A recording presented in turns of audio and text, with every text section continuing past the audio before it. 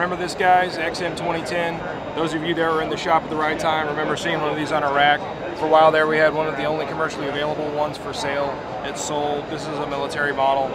Uh, unfortunately, guys, I don't know if we're ever going to be able to get any of these in stock, but it is a sweet rifle.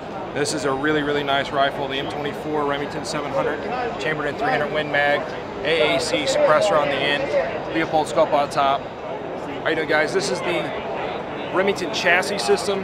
This is about as close as you're going to be able to get to an XM 2010. This is running just a standard Remington 700 and their chassis system. It's very, very similar to the XM 2010. It is not a real M24 uh, military XM 2010. This is their chassis. Uh, got a little shorter barrel on this guy right here, painted up with some flat dark earth. So hopefully we'll be able to see these guys on, on some retail shelves.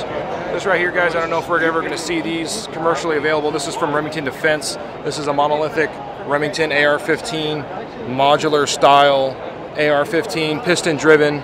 Um, this is from Remington Defense. We may or may not see one of these. Only time will tell.